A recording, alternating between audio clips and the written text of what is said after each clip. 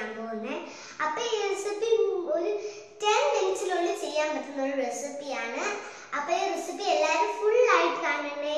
അപ്പോൾ നമുക്ക് റെസിപ്പിയിലേക്ക് പോകാം. ഓക്കെ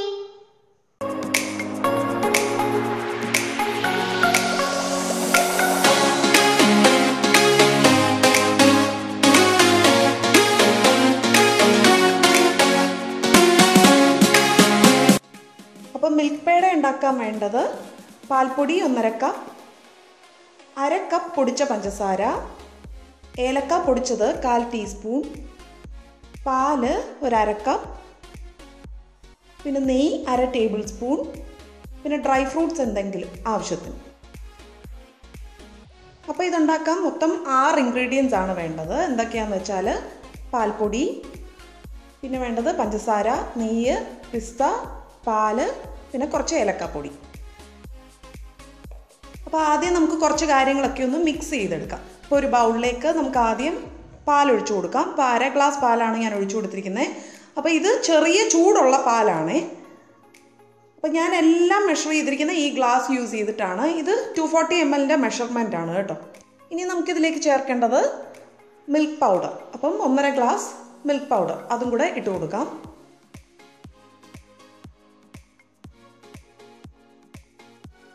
പിന്നെ പൊടിച്ച പഞ്ചസാര അര ഗ്ലാസ്. അപ്പോൾ ഇത്രയും മധുരം ചേർക്കുമ്പം സ്വീറ്റ്നെസ്സിന്റെ ലെവൽ മോഡറേറ്റ് ആണേ. എന്നിട്ട് നമുക്ക് ഒരു വിസ്കോ ഫോർക്കോ എന്തെങ്കിലും യൂസ് ചെയ്ത് നല്ലോണം ഒന്ന് മിക്സ് ചെയ്യാം. അപ്പോൾ ചെറു ചൂടുള്ള പാൽ തന്നെ യൂസ് ചെയ്യുക. അപ്പോൾ ഒട്ടും കട്ട കിട്ടില്ല. പെട്ടെന്ന് നമുക്ക് ഇത് മിക്സ് ചെയ്തെടുക്കാൻ പറ്റും. നമ്മൾ തണുത്ത പാൽ യൂസ് ചെയ്താൽ ലംസ് ഒത്തിരി ഫോം ആകാനുള്ള ചാൻസസ് ഉണ്ട്. പിന്നെ ഒന്നുകൂടെ ടൈം എടുക്കും. നമ്മൾ ആ ലംസ് ഒന്നും ഇല്ലാതെ ഇത് മിക്സ് ചെയ്തെടുക്കാൻ. ഇപ്പോൾ കണ്ടോ പെട്ടെന്ന് തന്നെ നമ്മളിത് മിക്സ് ചെയ്തെടുത്തു. അപ്പോൾ ലംസ് ഒന്നും ഇല്ലാതെ നല്ലൊരു സ്മൂത്ത് ബാറ്ററായിട്ട് നമുക്ക് കിട്ടിയിട്ടുണ്ട്. ഇനി നമുക്കിത് കുക്ക് ചെയ്യാം. അപ്പോൾ ഒരു പാനിലേക്ക് നമുക്ക് ഒരു അര ടേബിൾ സ്പൂൺ നെയ്യ് ചേർത്ത് കൊടുക്കാം. അപ്പോൾ നോൺ സ്റ്റിക്ക് പാൻ ഉണ്ടെങ്കിൽ അത് തന്നെ യൂസ് ചെയ്യുക. അങ്ങനെ ആകുമ്പോൾ അടിക്ക് പിടിക്കുമോ എന്നുള്ളൊരു പേടി വേണ്ടല്ലോ അപ്പോൾ നെയ്യൊക്കെ മെൽറ്റായിട്ടുണ്ട് ഇനി നമ്മുടെ മിൽക്ക് പൗഡർ മിക്സ് ഇതിലേക്ക് ഒഴിച്ചു കൊടുക്കാം. അപ്പോൾ പ്രത്യേകം ശ്രദ്ധിക്കേണ്ട ഒരു കാര്യം എന്താണെന്ന് വെച്ചാൽ ഈ ഹോൾ കുക്കിംഗ് പ്രോസസ്സും നമ്മൾ ലോ ഫ്ലെയിമിൽ വെച്ച് വേണം ചെയ്യാൻ. പെട്ടെന്ന് ചെയ്യാൻ വേണ്ടിയിട്ട് തീ കൂട്ടി കൊടുക്കുകയോ ഒന്നും ചെയ്യരുത്. അടിക്ക് പിടിക്കാനുള്ള ചാൻസസ് ഉണ്ട്. അതുപോലെ തന്നെ നമ്മൾ കൈ എടുക്കാതെ ഇളക്കി കൊടുത്തുകൊണ്ടിരിക്കുകയും വേണം. അപ്പം ഇതിട്ടിട്ട് എങ്ങോട്ടും പോകരുത് അതൊന്ന് ശ്രദ്ധിച്ചോണം.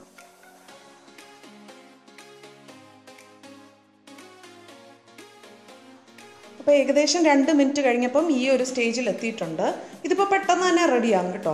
ഇതിന്റെ കുക്കിംഗ് ടൈം എന്ന് പറയുന്നത് ഒരു ആറേഴ് മിനിറ്റ് മതി. അപ്പോൾ ഒരുപാട് ടൈം ഒന്നും നമ്മൾ ഇളക്കി കൊടുക്കേണ്ട വരത്തില്ല. പേടിക്കണ്ട.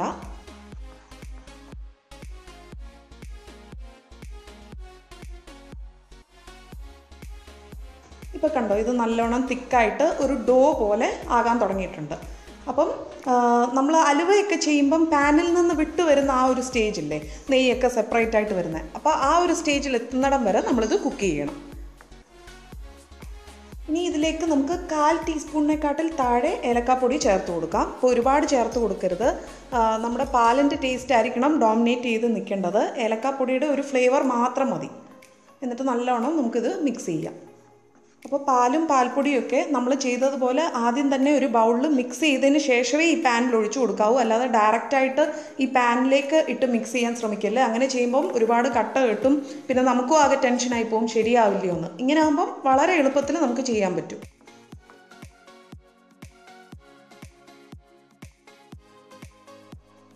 അങ്ങനെ നമ്മുടെ ഡോ റെഡി ആയിട്ടുണ്ട്. പാനിൽ നിന്ന് വിട്ട് വരുന്ന ആ ഒരു സ്റ്റേജിലേക്ക് എത്തിയിട്ടുണ്ട്. നെയ്യൊക്കെ ഒന്ന് സെപ്പറേറ്റ് ആയി വരാനും തുടങ്ങിയിട്ടുണ്ട്. അപ്പോൾ ഈ ഒരു സ്റ്റേജിൽ എത്തുന്നിടം വരെ നമ്മൾ കുക്ക് ചെയ്യണം. ഇനി നമ്മൾ ഇത് നല്ലവണ്ണം ഒന്ന് തണുത്തതിന് ശേഷം നമുക്കിത് ഷേപ്പ് ചെയ്തെടുക്കാം. അപ്പോൾ ഇത് നല്ലോണം തണുത്ത് വന്നിട്ടുണ്ട്. ഇനി നമുക്കിത് ചെറിയ ബോൾസ് ആക്കി റോൾ ചെയ്തെടുക്കാം. അതിനു മുമ്പ് നമ്മുടെ കയ്യിൽ ഒട്ടിപ്പിടിക്കാതിരിക്കാൻ വേണ്ടിയിട്ട് നമ്മുടെ കയ്യിൽ കുറച്ച് നെയ്യൊന്ന് തേച്ച് കൊടുക്കണം. എന്നിട്ട് നമുക്ക് ഏത് സൈസാണോ വേണ്ടത് ആ ഒരു സൈസിലേക്ക് നമ്മൾ ഇത് ഉരുളകളാക്കി എടുക്കണം. എന്നിട്ട് നമ്മുടെ രണ്ട് പാമ്പിന്റെയും ഇടയ്ക്ക് വെച്ച് നല്ലൊരു ക്രാക്ക് ഒന്നും ഇല്ലാത്ത ഒരു ബോൾ ഷേപ്പിൽ റോൾ ചെയ്തെടുക്കുക. എന്നിട്ട് നമ്മുടെ തമ്പ് യൂസ് ചെയ്ത് നമ്മുടെ തമ്പ് യൂസ് ചെയ്ത് ലൈറ്റായിട്ടൊന്ന് പ്രസ് ചെയ്ത് കൊടുക്കുക. അപ്പോൾ ഒരു ചെറിയൊരു കുഴി പോലെ ഫോം ആവും. ഇതിലേക്ക് നമുക്ക് ഒന്ന് ഡെക്കറേറ്റ് ചെയ്യാൻ വേണ്ടിയിട്ട് പിസ്തയോ അല്ലെങ്കിൽ വേറെ ഏതെങ്കിലും ഡ്രൈ ഫ്രൂട്ട്സോ വെച്ച് കൊടുക്കാം. അതുപോലെ നമ്മുടെ വീട്ടിൽ നമ്മൾ യൂസ് ചെയ്യുന്ന ഗ്ലാസിന്റെയൊക്കെ താഴ്ഭാഗത്ത് എന്തെങ്കിലും ഡിസൈൻ ഒക്കെ കാണുമല്ലോ. ആ ഡിസൈൻ ഇതിൽ പ്രസ് ചെയ്ത് കൊടുക്കുകയാണെങ്കിൽ അത് ഇതിലേക്ക് പതിയും. അങ്ങനെയും വേണമെങ്കിൽ നമുക്ക് ഡെക്കറേറ്റ് ചെയ്യാം. അങ്ങനെ ഞാൻ മൊത്തം റോൾ ചെയ്തെടുത്തു. അപ്പോൾ ഈ ഒരു ക്വാണ്ടിറ്റി എടുക്കുവാണെങ്കിൽ പതിനാറ് പേട പ്രിപ്പയർ ചെയ്തെടുക്കാൻ പറ്റും. അപ്പോൾ എല്ലാവരും ട്രൈ ചെയ്ത് നോക്കുക. വളരെ എളുപ്പത്തിൽ ഉണ്ടാക്കാൻ പറ്റിയ സ്വീറ്റാണ് അപ്പം ഈ വീഡിയോ ഇഷ്ടപ്പെടുവാണെങ്കിൽ മറ്റുള്ളവർക്കും ഷെയർ ചെയ്ത് കൊടുക്കുക ലൈക്ക് ചെയ്യുക ചാനൽ സബ്സ്ക്രൈബ് ചെയ്യാത്തവരുണ്ടെങ്കിൽ സബ്സ്ക്രൈബ് ചെയ്യുക.